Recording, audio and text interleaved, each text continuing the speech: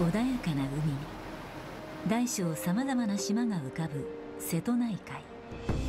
その瀬戸内海に突き出した南北 5km 東西 2km の巨大な溶岩台地屋島。その名の通り江戸時代の初めまでは島でした。頂上部がテーブル状の世界的にも珍しいメサ地形で形成されています。西斜面の遍路道にはいくつもの板が積み重なったように見える岩畳石が見られこれらの特徴的な地形で構成される屋島は国の天然記念物に指定されています。屋島は平安時代末期源平の合戦の主戦場であったことはあまりにも有名。しかしその戦いを遡ることおよそ500年。飛鳥時代にもすでに軍事的な役割を担っていました。それが屋島の木と呼ばれる山城だったのです。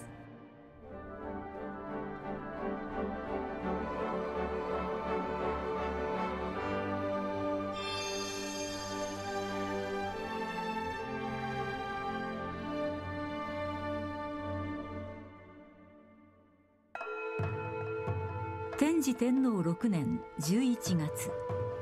大和の国高安の木。讃岐の国山田の郡八島の木。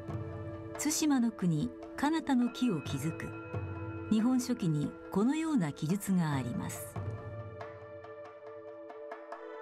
讃岐の国山田の郡八島の木とは現在の高松市八島を指します。八島の木跡は標高292メートル。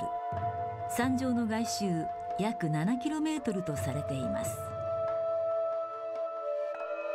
1998年に発見された八島の木の縄文は確認されている古代山城の縄文では最大級の規模を誇っています。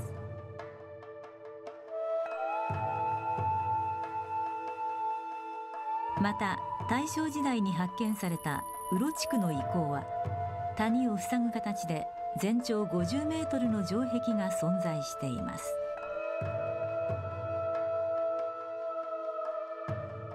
その他にも調査研究が進んでおり屋島の木を解明する手がかりが次々と見つかっています。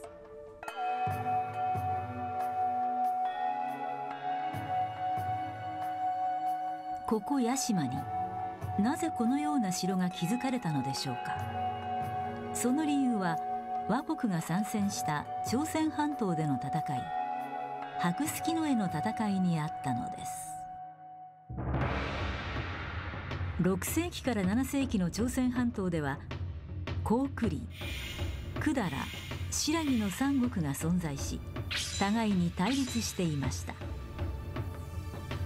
そこで新羅と中国の唐は手を結び百済に侵攻百済は滅んでしまいました。百済と友好関係にあった倭国は復興を目指す百済から救援を求められこの戦いに参戦。そして663年白月の絵の戦いが行われました。倭国と百済はこの戦いで大敗を喫してしまいます。この敗戦により唐新羅連合軍の侵攻を危惧した倭国は百済の技術を取り入れた国防施設である山城を交通の要となる九州や瀬戸内海の沿岸に築いたのでした。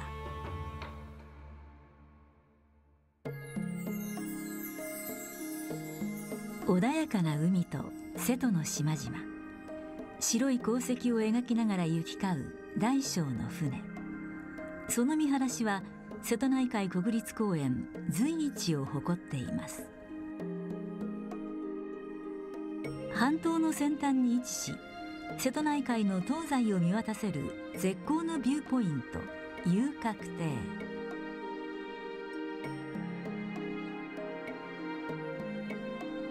沖に突き出た断崖に海に向かって獅子が吠えているような岩がそそり立っていることからこの名が付けられた獅子の霊岩は夕日や夜景のスポットとしても人気です。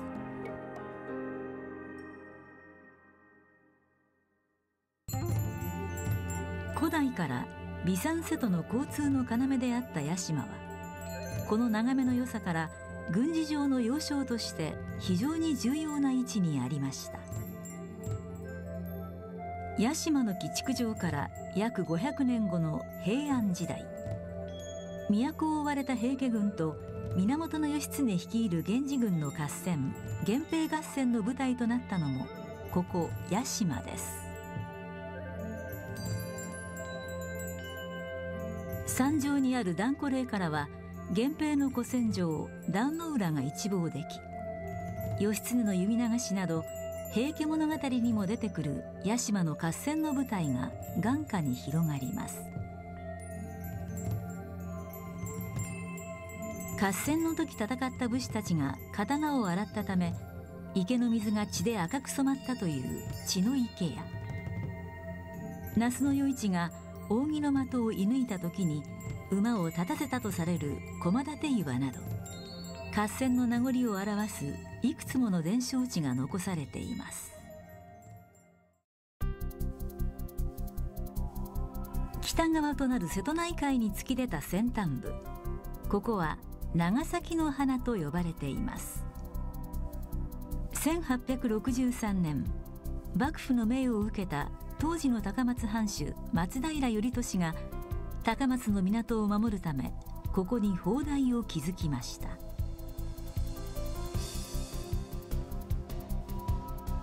この地に敵からの侵略を防ぐために大砲が備えられていたようです。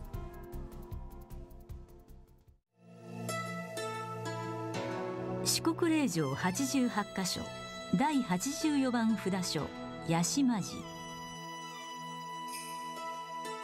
元は奈良時代に唐の僧鑑人が唐から奈良に向かう途中屋島を訪れ屋島北嶺にお堂を建てたのが始まりと言われています。美しい荷塗りで作られた本堂。鎌倉時代の部材を用いて1618年に改築され本尊の木造千手観音座像や盆章とともに国の重要文化財に指定されています。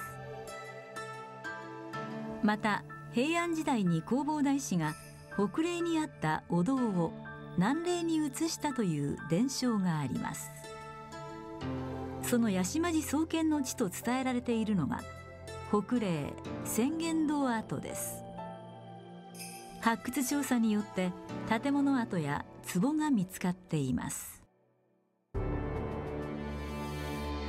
古代山城の屋島の木源平合戦の主戦場鑑真が創建したとの伝承を持つ屋島寺。いつの時代もこの国にとって重要な場所であった屋島は1934年国の史跡に指定されました。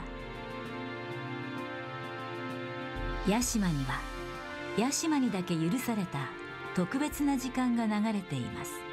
それは多くの歴史ロマンが積み重なって生まれた今だから言えることかもしれません。